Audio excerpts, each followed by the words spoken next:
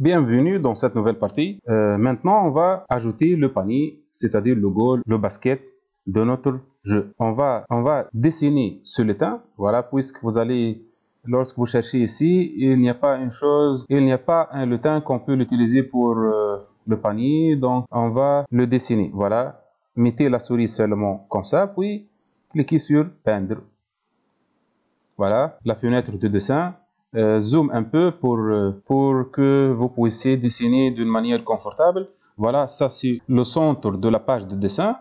Voilà, on va dessiner au centre. C'est juste un, un, cercle comme ça. Voilà, on va changer la couleur. Euh, on ne peut pas utiliser la couleur rouge puisque c'est la couleur de mur. Voilà, une chose comme ça. Voilà, puis on va dessiner. Voilà, vous avez un, un cercle ici, mais le, cercle est coloré, donc on va supprimer la couleur de remplissage. Voilà, ici, on va utiliser ça. C'est la couleur transparent, aucune couleur. Voilà. Maintenant, pour changer la couleur de, de ligne, on utilise contour ici. Puis, on va chercher la couleur. Voilà, comme ça c'est bon. Et comme ça, on a terminé. Bien sûr, pour modifier euh, le dessin, voilà, je ne peux pas cliquer avec la souris comme ça. On clique sur l'outil redessiner, puis clique ici. Vous pouvez changer euh, même l'épaisseur, voilà. Et exactement comme ça. Ça y est maintenant, au code. Voilà. Ici, je vais changer le nom ici, sprite 1, comme par exemple panier, ou goal, ou euh, but, comme vous voulez.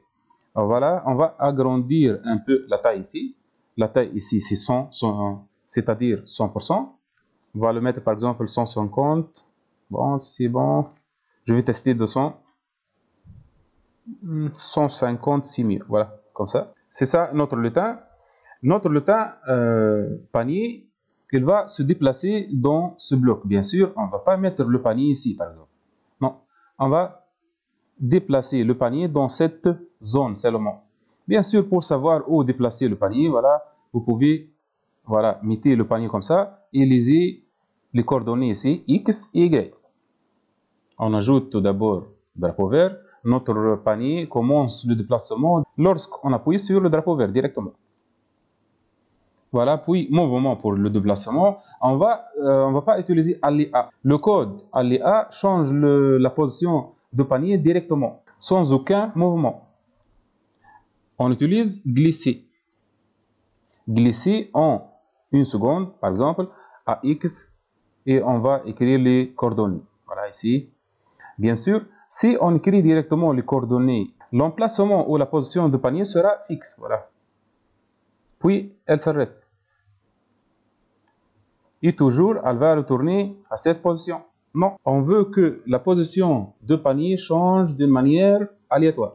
Donc, on utilise opérateur, puis nombre aléatoire pour x et un nombre aléatoire pour y. Voilà. Maintenant, les nombres aléatoires commencent voilà, de ce point. Ce point, c'est moins 53 pour x. Voilà. On écrit ici moins 153. Ou voilà, voilà. Exactement, c'est moins 177 Et le côté positif, c'est ça, 177. Pour Y maintenant,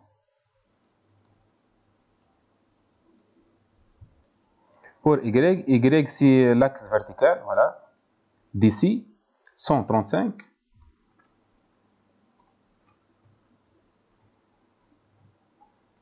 Jusqu'à moins 14. Si je teste maintenant, le mouvement de panier s'arrête lorsque la position qui a été choisie d'une manière aléatoire est atteinte. Il n'y a pas une répétition ici. Pour faire répéter ce code plusieurs fois, on utilise bien sûr répéter indéfiniment. Testons maintenant. Et voilà. Le panier change sa place d'une manière aléatoire et pour toujours, répété indéfiniment. Stop. On ajoute maintenant le ballon. C'est le ballon basket ici. On va agrandir la taille aussi, 150 par exemple. On sait 200. C'est 170. Bon, c'est bon comme ça. Euh, je vais laisser le même nom, basketball. Et maintenant, lorsque le ballon entre dans le panier de basketball, on va euh, jouer un son et ajouter euh, un point au score de chaque. Voilà, pour cela, j'ajoute ce code. Voilà, drapeau vert est cliqué. Contrôle, si, il y a une condition bien sûr ici. Capteur, si touche le pointeur de la souris. Voilà, comme ça. Et on va changer pointeur de souris par panier, bien sûr. oui, euh, on va jouer un son. Jouer le son. On va changer le son ici. On va choisir un autre son. Ici, choisir un son. Puis, il y a le son Cheers. Vous pouvez chercher le son ici. CH. Voilà. Gold Cheer. Voilà, on va utiliser ce son. Gold Cheer. Voilà, comme ça. Et bien sûr, on va répéter ce code toujours. C'est-à-dire à chaque fois que le ballon touche le panier, on va faire ça. répéter indéfiniment. Voilà, si je teste maintenant manuellement.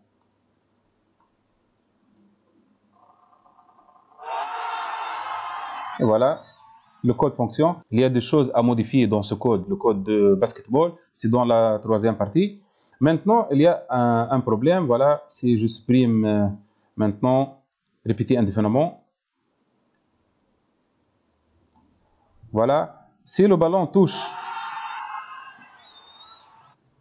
le chat marque un but, même si le ballon touche euh, le contour de panier. C'est pas ici au centre. Non. Le but, normalement, sera compté lorsque le ballon touche le centre du panier. Pour cela, on va utiliser un autre lutin qui va jouer le, rôle de centre de panier. On va le dessiner. C'est un petit carreau pour désigner le centre de panier. Voilà, carreau ici zoom un peu, voilà, carreau au centre. Le carreau, on va changer sa couleur et la couleur de remplissage aussi. Bien sûr, la couleur ici n'est pas importante. Vous pouvez choisir n'importe quelle couleur. Sans contour, comme ça. C'est ça notre carreau. Je vais changer sa taille. Voilà. 200 par exemple. Oui, c'est mieux comme ça. On va nommer ce lutin comme centre. On teste maintenant, drapeau vert. Voilà. Le problème ici euh, est que lorsque le panier se déplace, le lutin centre normalement doit suivre le lutin panier. On va faire ça avec les codes. Voilà. Tout d'abord, quand drapeau vert est cliqué.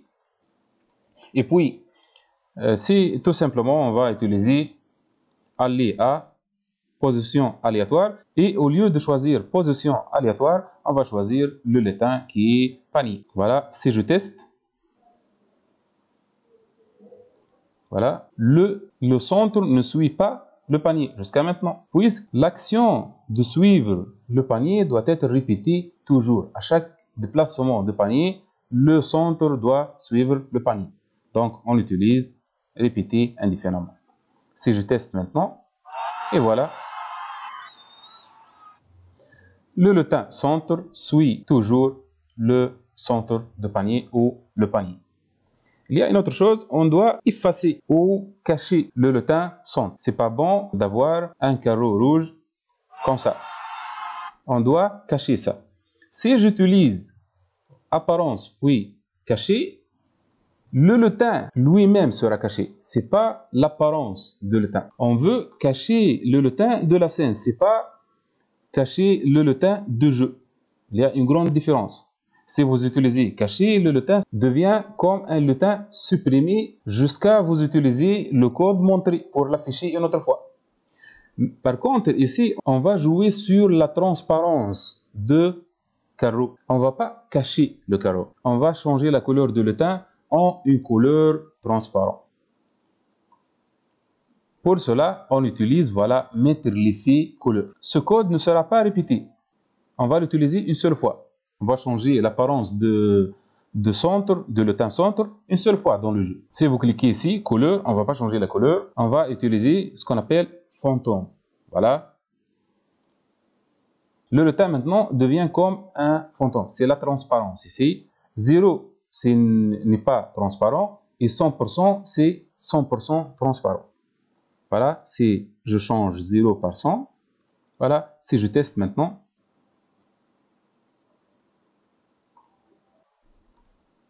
voilà, tant que le jeu est en exécution, le carreau sera caché. Voilà, si je clique sur stop, le letin centre s'affiche une autre fois. Attention, on ne peut pas utiliser cacher et montrer pour faire ça. Pour le code de basketball, on va le terminer dans la partie suivante. Maintenant, je vais enregistrer fichier, sauvegarder, et puis choisir le nom de jeu, basket.sb3, qu'on a enregistré l'autre fois, et cliquer sur enregistrer, puis oui. Elle va ici remplacer l'ancienne version par la nouvelle version. Cliquez sur oui et ça y est. Merci.